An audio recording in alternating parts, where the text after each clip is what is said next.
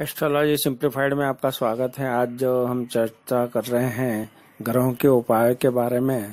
तो किसे जो कड़ा पहनना चाहिए, इसके संक्षिप्त जानकारी देने का हम प्रयास कर रहे हैं।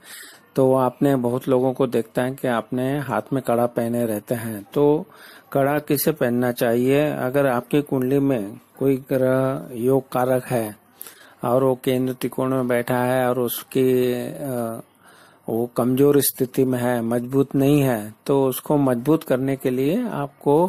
कड़ा पहनना चाहिए। अगर उसमें योग कारक सूर्य ग्रह है तो सूर्य ग्रह का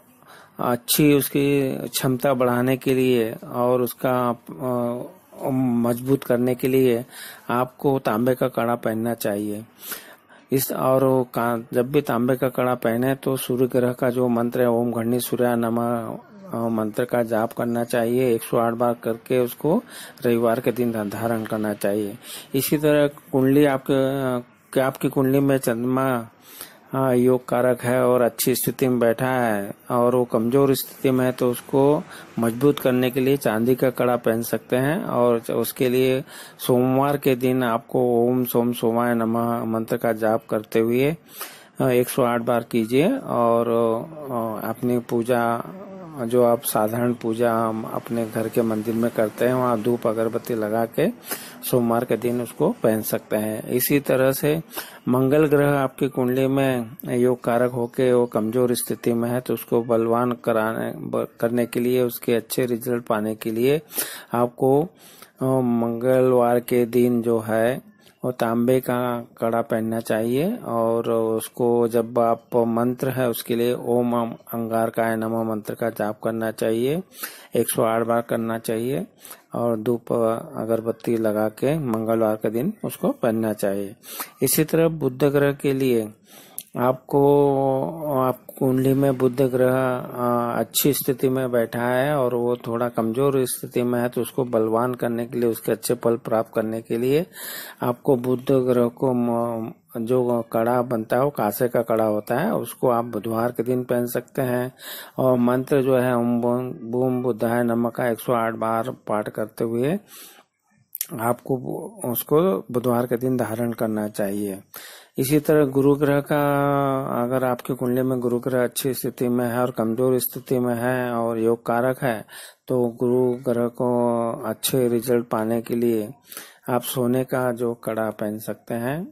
और उसके लिए आपको जो दिन है वो गुरुवार के दिन आप धारण कर सकते हैं। अच्छे से पूजा पाठ करके आप धारण कर सकते हैं और ओम गुम गुरु नमः मंत्र का जाप कर सकते हैं।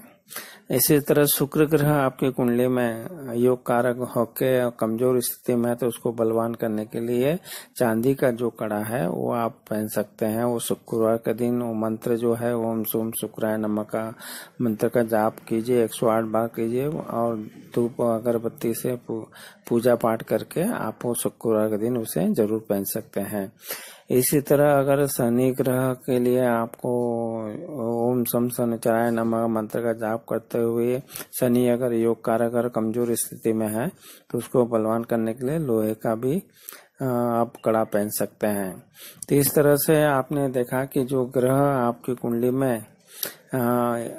अच्छे ही स्थिति में है, परंतु वो का उसमें बल नहीं है, अंशों में कमी है तो इस तरह से उनके मंत्रों के जाप करते हुए, उनके वार के दिन साधारण सी जो पूजा पाठ अपने मंदिर में करते हैं, धूप अगरबत्ती से, वो करके आपको उस दिन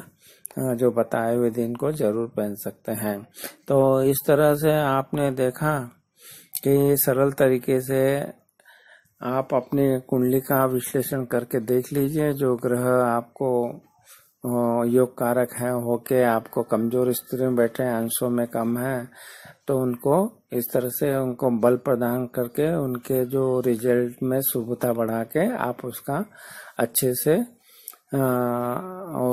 अच्छे से फ़ायदा उठा सकते हैं। ये जब भी इनके दशा अंतर दशा दशा गोचर में चलेंगे तो ये आपको ज़रूर अच्छे फल प्राप्त करेंगे। आपको हमारे वीडियो पसंद आ रहा था, हमारे जो चैनल है और हमारे वीडियो पसंद आ रहा था, हमारे वीडियो को ज़रूर आप लाइक कीजिए, शेयर कीजिए। आपने हमारे वीडियो को लाइक किया, शेयर किया। इसके लिए आपका बहुत बहुत धन्यवाद।